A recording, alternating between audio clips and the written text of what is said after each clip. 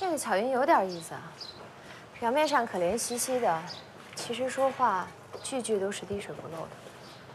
我觉得挺不容易的，一个女人做那么多事情，就是为了她的男人。可是你不觉得奇怪吗？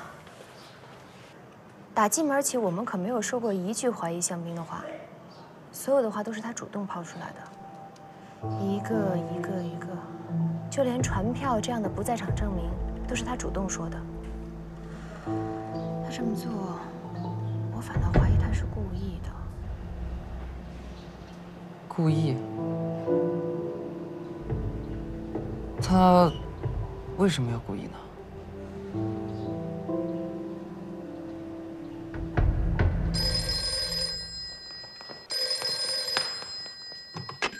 喂，哦，您稍等，大小姐，您的电话。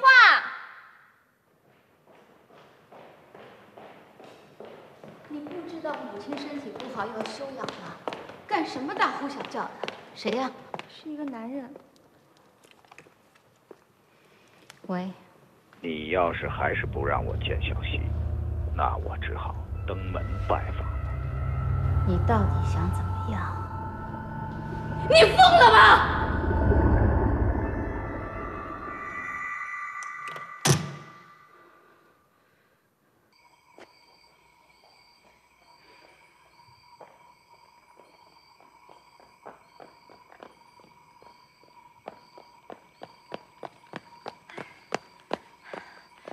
方琦最近应该没什么事情，人也安静了很多。我每天都检查他的手臂，没有发现新的针孔，那就好。你很关心他呀？是你很担心他吧？你不是跟他很好吗？里面怎么了？我也不知道，好像跟小溪有关。嗨，他的事儿我才懒得管呢。行，我先闪了。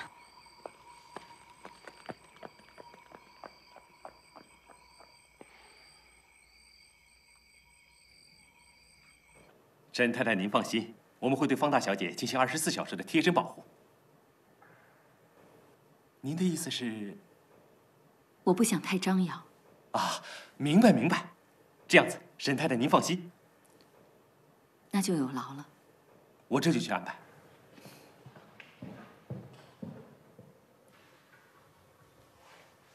我真的很害怕，怕他会把小溪带走。别怕，没事的。不是我不想跟他好好过日子。当时我怀着小溪的时候，他竟然背着我在外面有女人。我离开他难道不对吗？这么多年过去了，为什么他还是阴魂不散呢？你别怕，有我在呢。小溪是我们沈家的人。没有人可以把他带走。真的吗？谢谢母亲。这些日子里里外外都由你来操持，辛苦你了。没事的。其实，要是雨山在的话，能够帮得上很多忙。不如让他回到方城来吧。不要，他犯了错，还没得到教训。要是让他回方城来帮忙，他还以为没有他不行，他的尾巴肯定翘到天上去。不要。好了，不要再提了。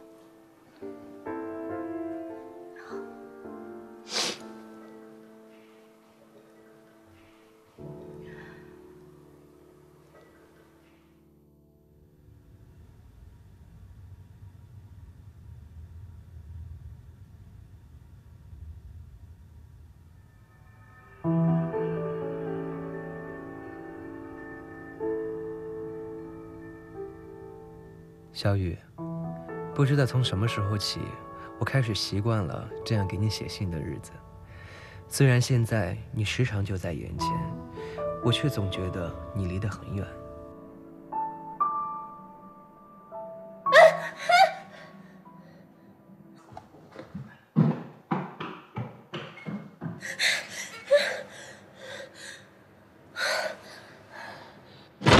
怎么了？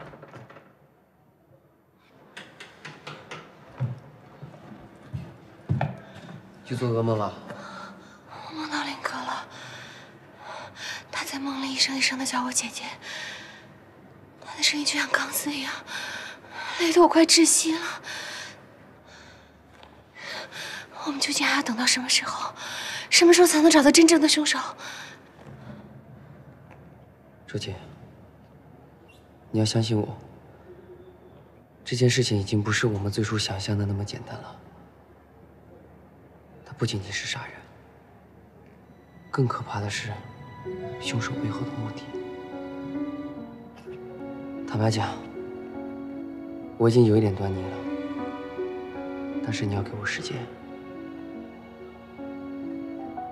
你现在要做的就是耐心等待。我知道这件事情对你来说很难，但是你必须这么做。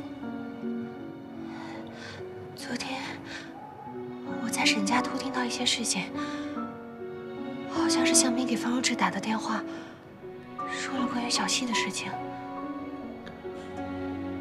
你内疚吗？就这样让小溪在毫不知情的情况下去见他的父亲？有一点点，但是看小溪的反应，向明好像没有认他。其实香槟才是最可怜的人，自己的亲生女儿明明就在面前，但只能这样看着，什么都不能说。这种感觉我明白。你看你，每天扛着复仇的旗帜，口号喊得比谁都响亮，可你根本就不是那种人。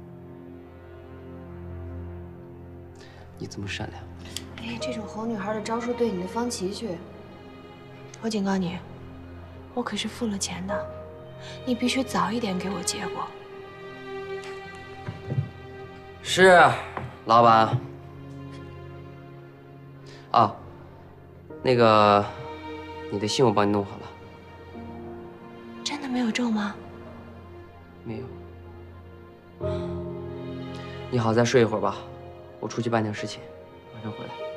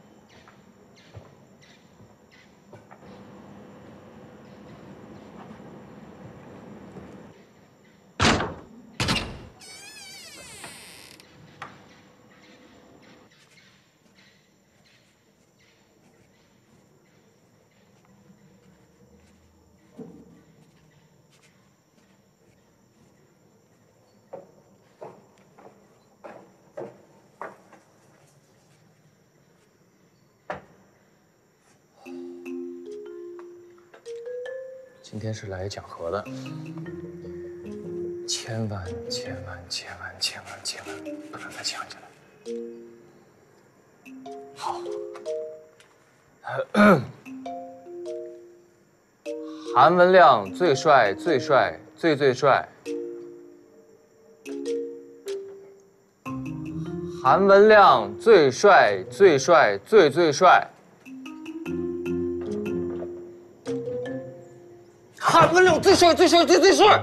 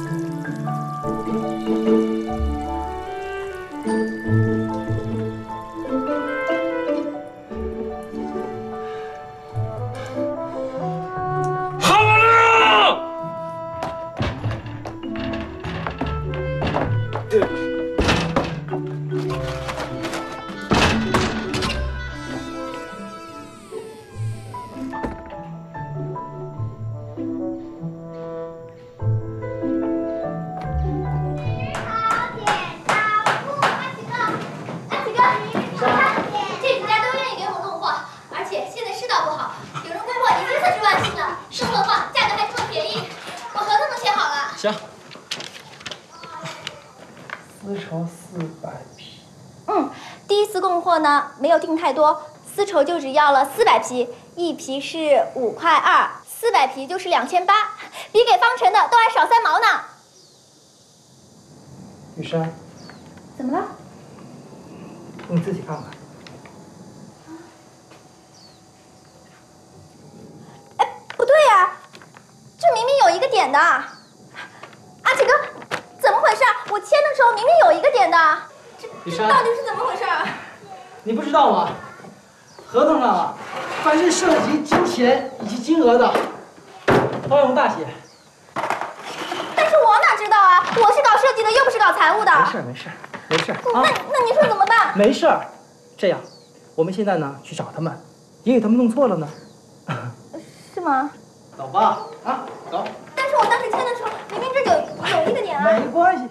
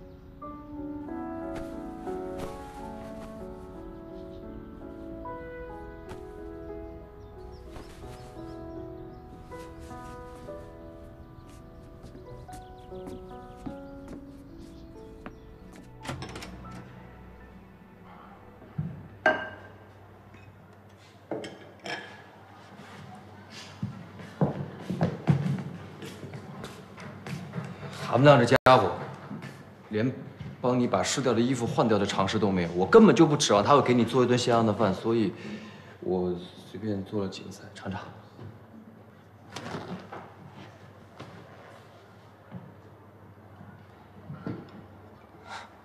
你这是怎么了？为了让我心里平衡一点，又去挑了次水啊？还说呢，韩不亮这个变态，改了开门密语就不说了，这是什么烂糟的惩罚手段？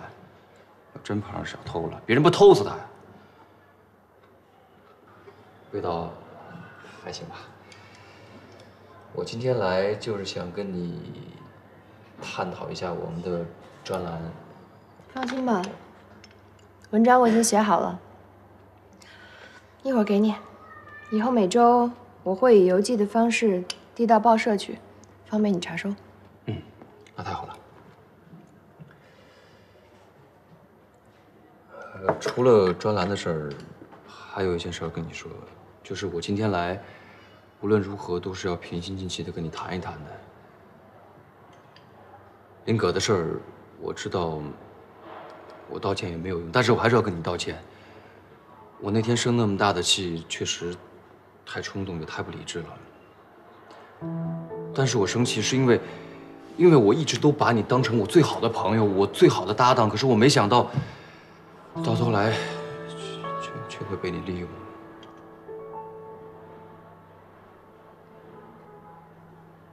你就不打算解释点什么吗？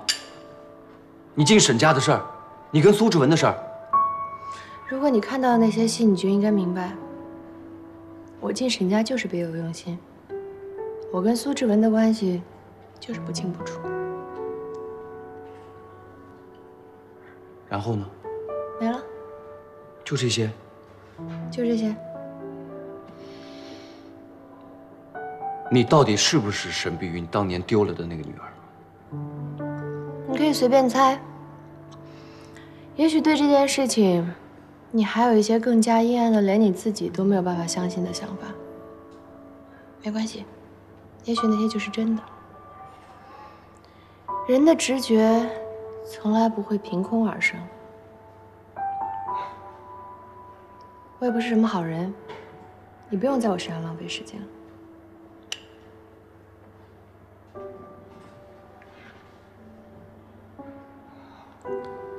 菜烧的挺好吃的，就是比韩文亮那个笨蛋强。我再多吃两个。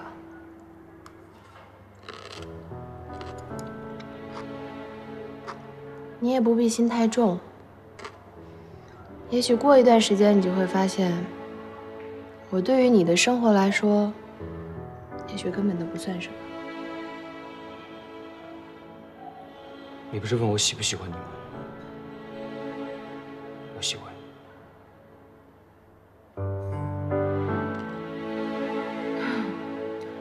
你。你看，我就说嘛，我早就知道你喜欢我。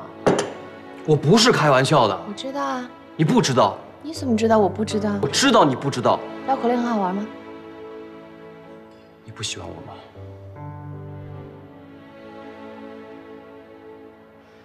我到底哪儿不好？我知道你讨厌我催你搞，以后我不催了还不行吗？我知道很多沈家的事情，我可以告诉你，你可以全部都写到《淑女之家》里。你什么都不需要为我做，我对你没有感觉。钱东平，你知道吗？有一种女孩是会被感动的，只要别人对她好，她就从了别人。但我恰恰是另外一种女孩，就是在我很困的时候，无论是浓咖啡还是浓茶，还是你用冷水洗脸，我都不会醒。那个时候我就意识到，我的体质对于外力来讲有多大的抵抗力。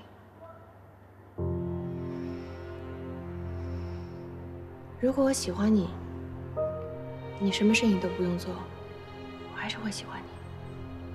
但如果我不喜欢你，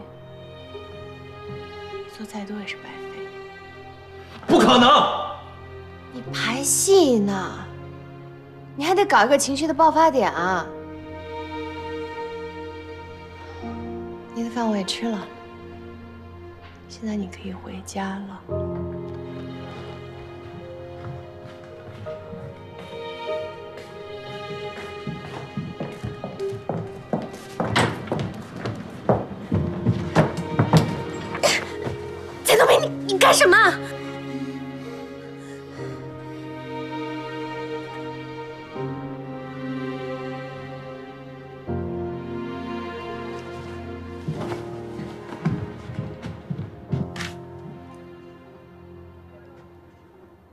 我就说怎么看了那么眼熟，因为方琦和方若诗都有一个，你果然是方国华的女儿。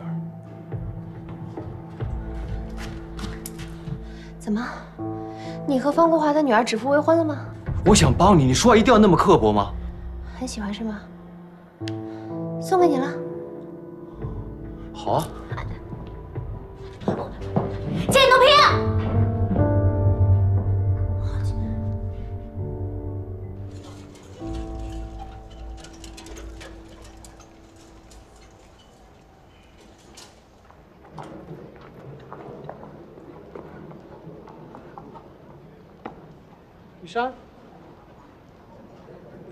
找他们。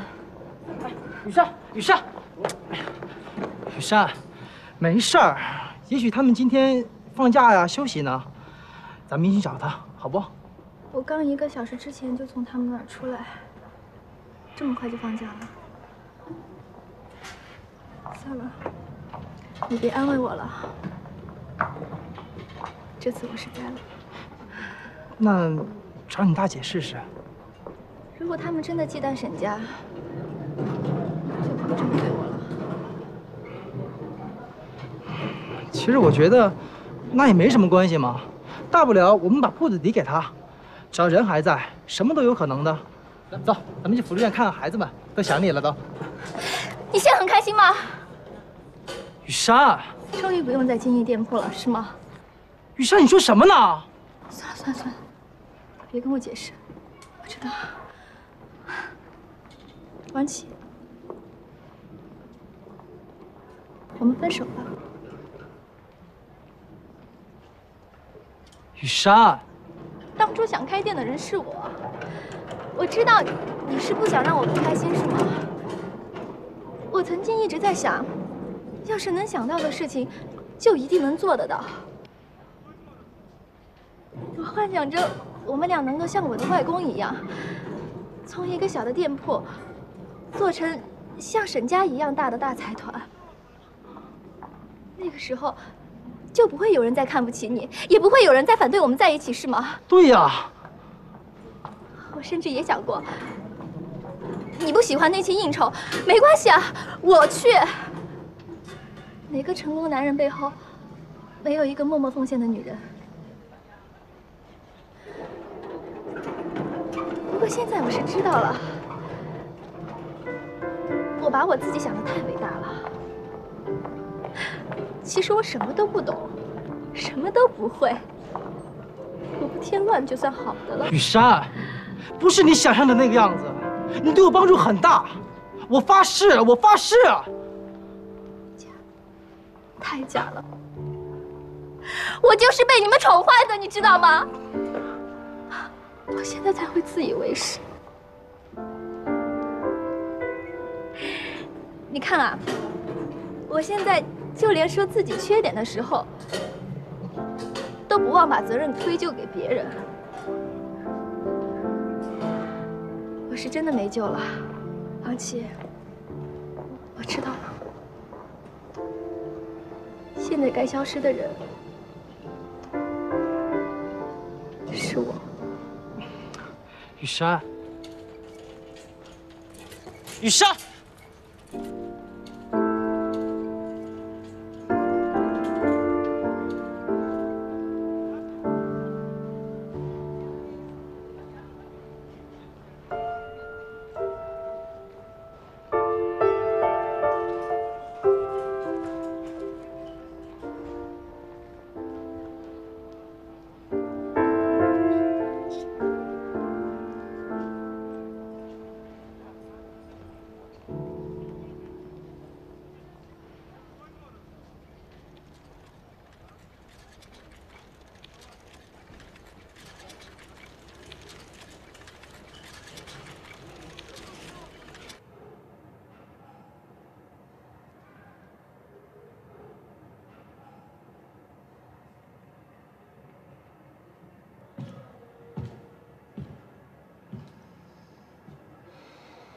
不走？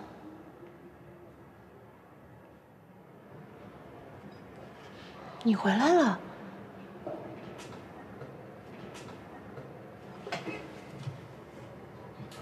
刚才说的那些话，你不会都听到了吧？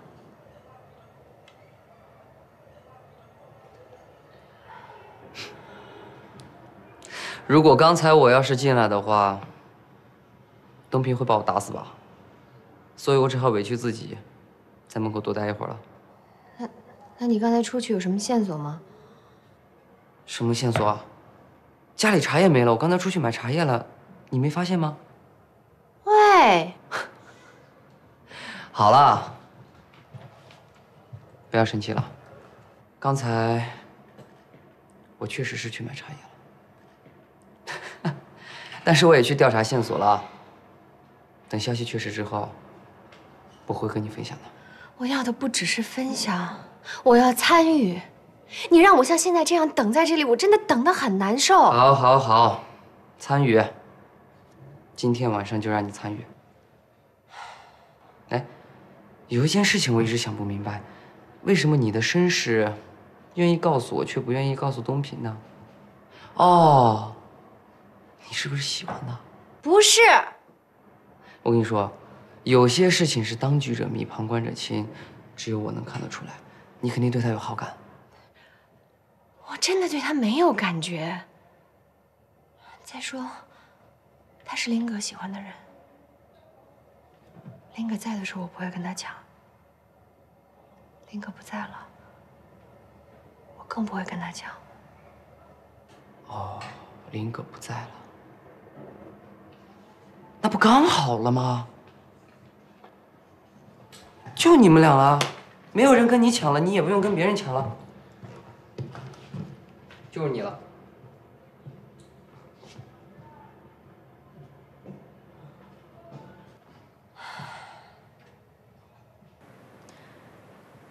妈。你还知道回家？妈，你能不能借我一点钱？借多少？五十二乘以四百，为什么？王老六那帮人做人不老实，我被坑了。妈，你能不能帮我出面？我能怎么帮你出面呢？如果，如果你肯，你可不可以争点气呀？这些日子你出了多少的事啊？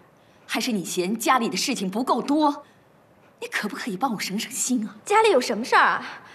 就算家里有事儿，有大姐在啊，也用不着我操心啊。你以为我不知道你和那个男人在外面做生意吗？为什么我能睁一只眼闭一只眼？就是希望你能做出一点什么事业来。可是现在看来，你终究还是让我失望了。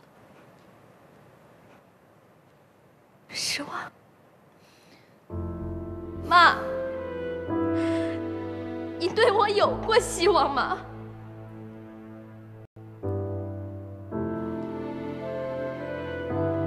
于山，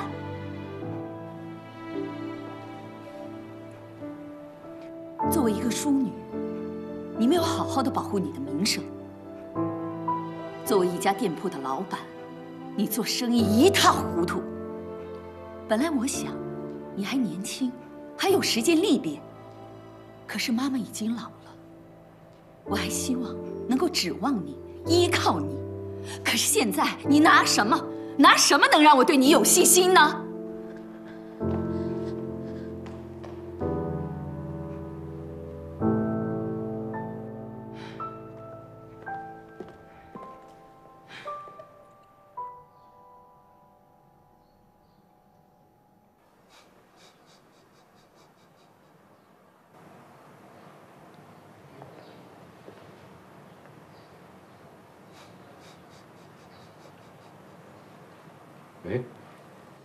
不是你柔之姐的手链吗？怎么上你这儿来了？哦，你认识啊？当然了。当年为了选这珠子，还是碧云委托我陪着国华一起去选的，都是上乘的南海白珍珠。你看，几乎每一颗一模一样，市面上是很难见着的。总共订了三串，每一串。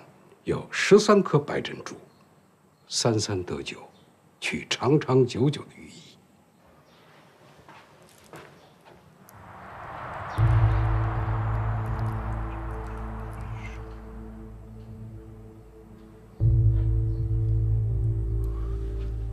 您的意思是，每一串上面都有十三颗，对吧？是啊，你忘了那天你沈阿姨从楼梯上摔下来，怀疑是踩着珠子了。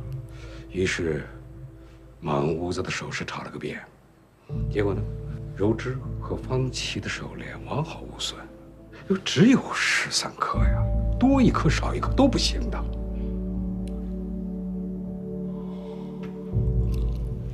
哎，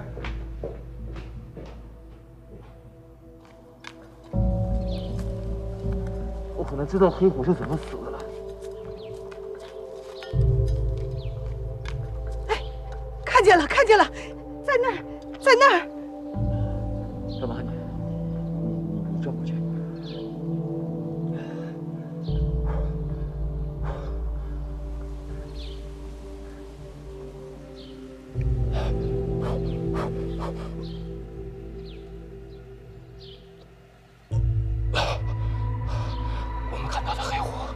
是被人用铁丝给勒死的，但是为什么会被开膛破肚呢？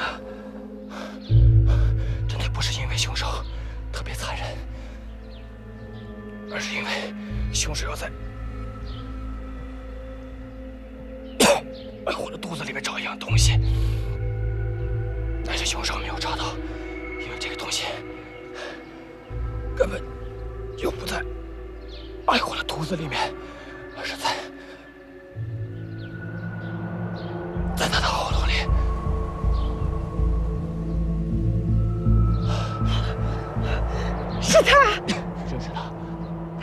下楼梯的时候，就有说珠子掉在地上的声音。后来我还让下人找过呢，却什么也没找到。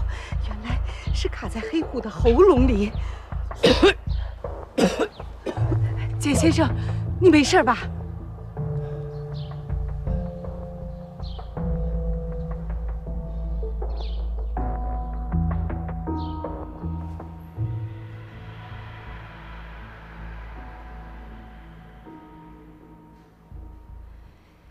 这不是大小姐珍珠手链上的珠子吗？每天戴在手上，怎么不认识了？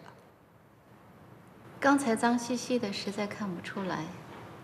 还是张妈的眼力好，一眼就认出来了。你什么意思？你的意思是说我偷了你的珠子，再栽赃给你？你不要血口喷人！你看，我只是随便说说，你又着急了。别装可怜了。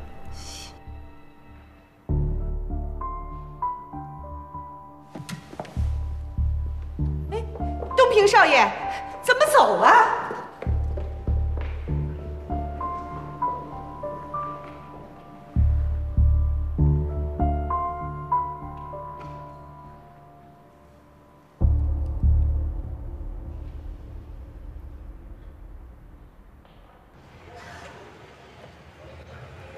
说的今晚是什么意思啊？我也不确定是什么事情，关键我也不确定它会不会发生。但如果一旦发生了，就绝对是一件大事，一切都会水落石出的。怎么讲？就是直击案发现场。案发现场？也就是说，现场杀人表演。你什么意思？还有人会死吗？谁啊？我也不希望这些事情发生，我会尽力的。你等我一下。干什么？取钱啊！我跟你一起。我跟你一起。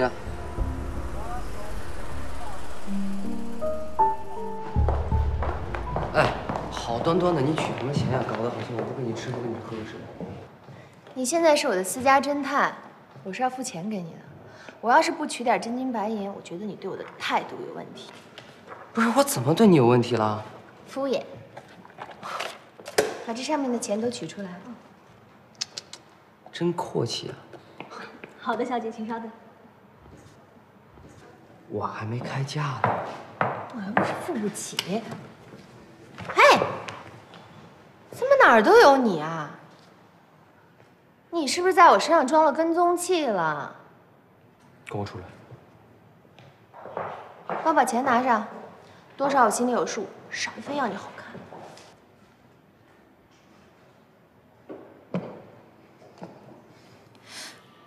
那位小姐，说吧。啊，这个账号好像有点问题。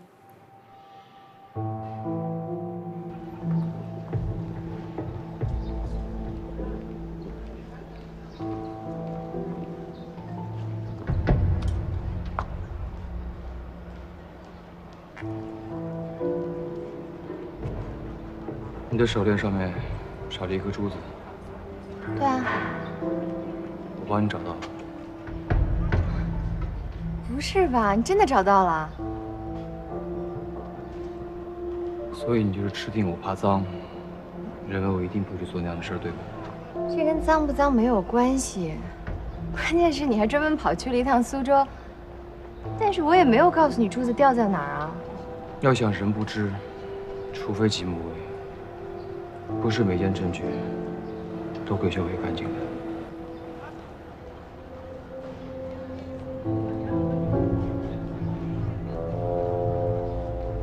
大小和质感真的一样，你真去苏州了？什么苏州啊？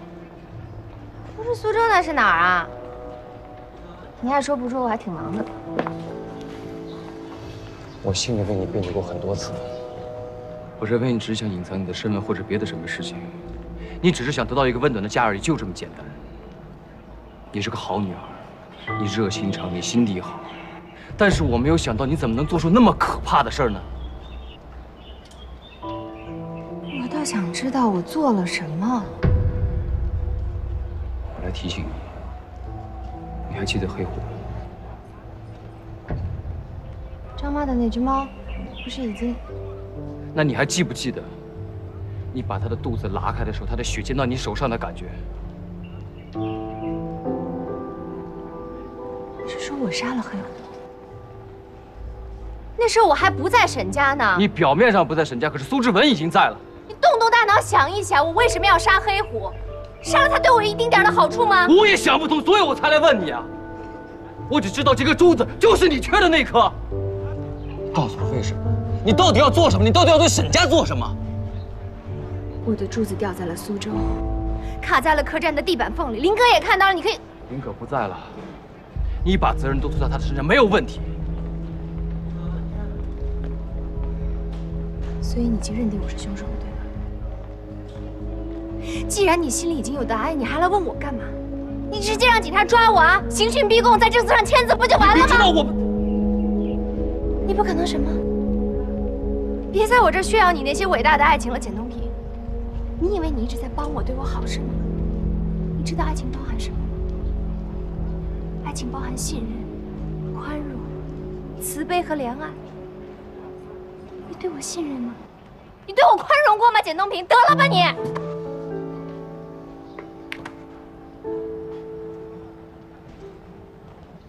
干什么？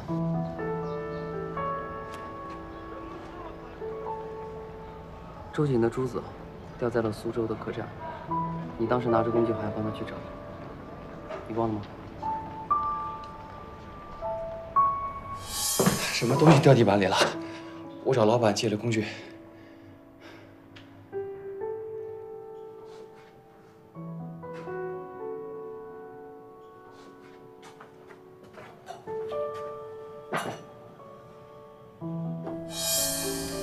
沈碧云摔下楼梯的时候，是听到了珠子的声音，但是当时家里没有周杰，也没有苏志文。那这个珠子是谁的？这才是你应该好好想一想的问题。我们走。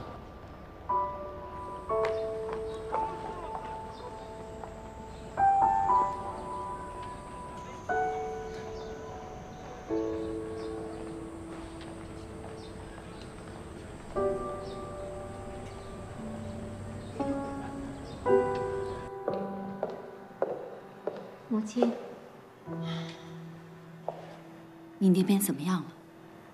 我那边一切正常，他只是放了几句狠话，不敢怎么样。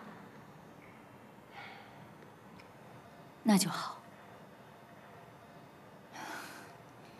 今天的报纸，我找了半天都没找着。现在这些下人做事情，越来越不上心了。母亲，是我把报纸收起来了。为什么？是不是雨山又在外面惹事了？其实雨山的脾气就是这样的。拿来吧。